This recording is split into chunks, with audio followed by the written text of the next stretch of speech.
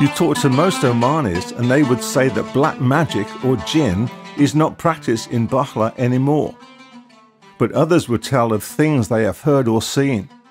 One person said you can fly and be transported anywhere in the world from Bahla.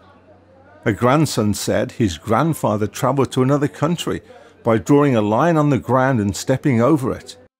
An old woman cast a spell on a government official that made him blind. When the official finally gave her what she wanted, the curse was reversed and he regained his sight. Women have little power in this male dominated society, and so Muslim women resort to magic to gain power, to become pregnant, to make their children succeed in school, to cast curses on other women who they hate and are jealous of, or to cast spells on the second or third wife. For some in Oman, there is still a fascination with black magic. There seems to be a seeking of something greater than Islam has to offer. The Bible talks about a great spiritual world, with there being powers that comes from demons and the evil side. The Bible says, Dear friends, do not believe every spirit, but test the spirits to see whether they are from God, because many false prophets have gone out into the world. This is how you can recognize the Spirit of God. Every spirit that acknowledges that Jesus Christ has come in the flesh is from God. But every spirit that does not acknowledge Jesus is not from God.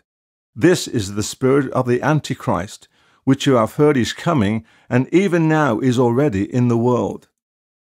Then a little later in that same chapter, the Bible says, If anyone acknowledges that Jesus is the Son of God, God lives in them and they in God. And so we know and rely on the love God has for us. The Bible states that those who have Jesus as their Lord and Saviour have greater power than the powers of this world and Satan. You, dear children, are from God and have overcome them, because the one who is in you is greater than the one who is in the world. Father, in the name of the Lord Jesus Christ, we come before you on behalf of the people of Bahla and other people who are coming to this city to seek protection from evil spirits. Father, we ask that you would allow them to know that there is protection only in the name of your Son Jesus. Father, for others who are coming to this city to cast evil spirits on other people or businesses, we ask you to stop this seeking of evil on others in Jesus' name.